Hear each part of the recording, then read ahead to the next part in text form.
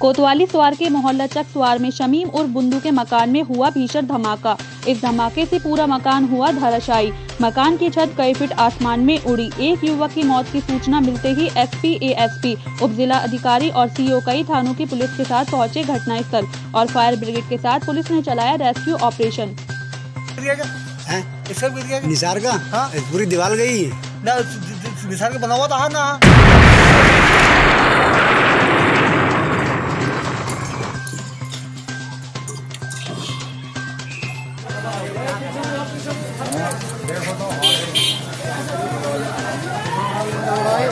बराबर वाला बराबर वाला बराबर वाला बराबर वाला उड़ाई बारूद ड्रम में थी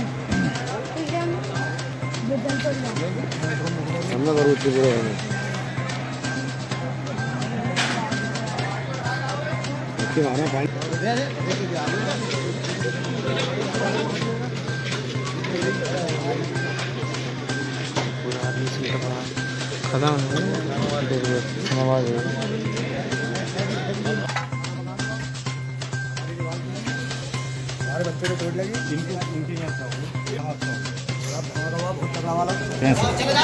काम कर रहे थे काय का था ये आतंकवादी का काम करते थे एक ज़माने से पहले भी यहाँ एक कांड हो चुका है अभी दो साल पहले उसके बाद इन्हें हमने समझाया मोहल्ले वालों ने समझाया किसी की मौत या कोई। घायल भी हुआ अब एक लड़का खत्म हुआ इनका और कोई घायल भी है? बाकी ये मलबा उठने के बाद पता चलेगा कि कौन है कौन नहीं है इसके अंदर।